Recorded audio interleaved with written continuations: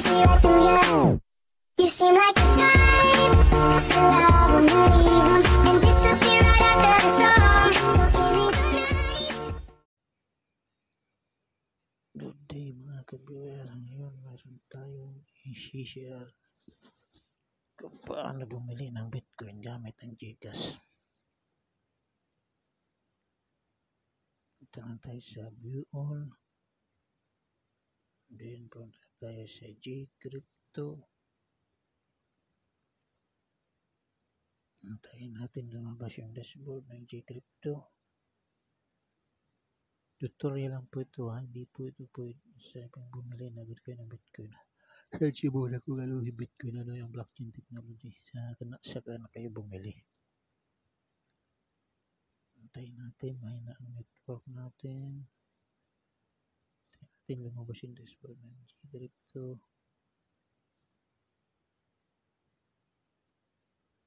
At hindi lang po Bitcoin dahil Bitcoin pa tuloy natin Bitcoin ang bibilan natin. Marami pa tayong bibilan sa Gcash ng mga iba't ibang klaseng blockchain coins. Wait natin, mabagal. Ayan. Search nyo lang kung ano yung Bitcoin. Kung okay na kayo, bili kayo pero long term lang.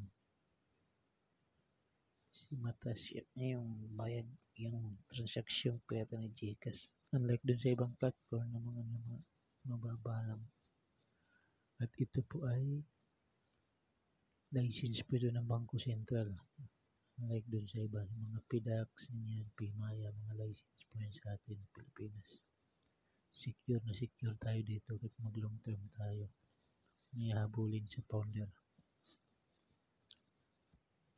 Then click OK.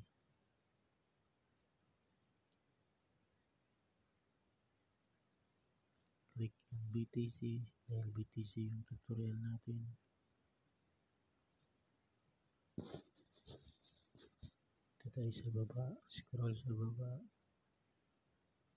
Yan pang marireceive niya.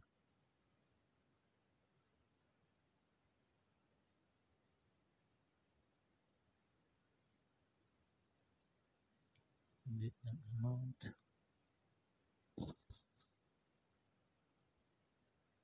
Magkano gusto natin bilhin. Then proceed next mo lang sa baba. Wait mo mag-successful, mag-successful yan is okay na yan, nakabili ka na.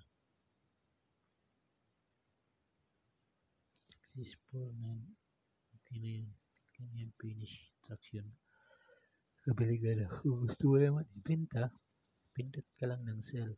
Buy and sell, buy, sell lang.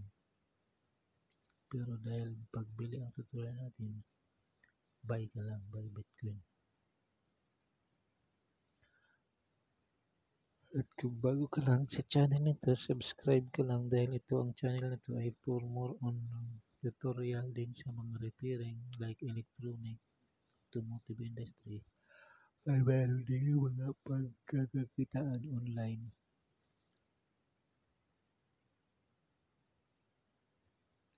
Successful yung nakamalga na. Meron ka ng Bitcoin.